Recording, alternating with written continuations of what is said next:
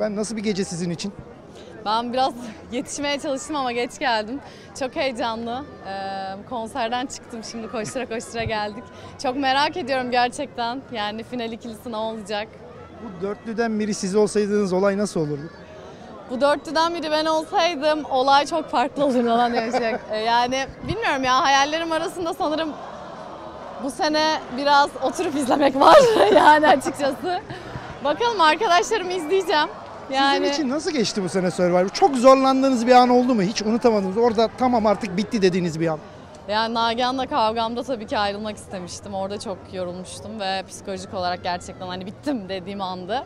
Onun dışında biliyorsun ufak çaplı sinir krizlerim falan oldu. Yani o süreç içerisinde. Psikolojik bölümü çok zordu. Açlığa alışıyorsun, miden küçülüyor, zayıflıyorsun ama psikolojik süreç en zoruydu. Bir barış falan.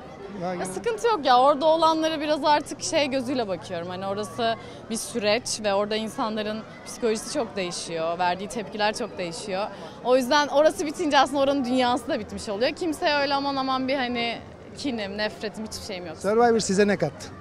Survivor bana burayı kattı yani. E, Tabii ki bir seven kitlem oldu. İnsanların desteklemesi çok güzel. Ee, fotoğraf çekilmek istemeleri çok güzel. Ee, benimle gülüp benimle ağlamaları çok güzel. Genel olarak mutluyum çok. Valla samimi bir şey soracağım. Şuraya bir de gönül sızısı koydu mu? Gönül sızısı mı? Evet yani. Finale kalamadığım için mi? Yani duygusal bir şeyler Yunus Bey.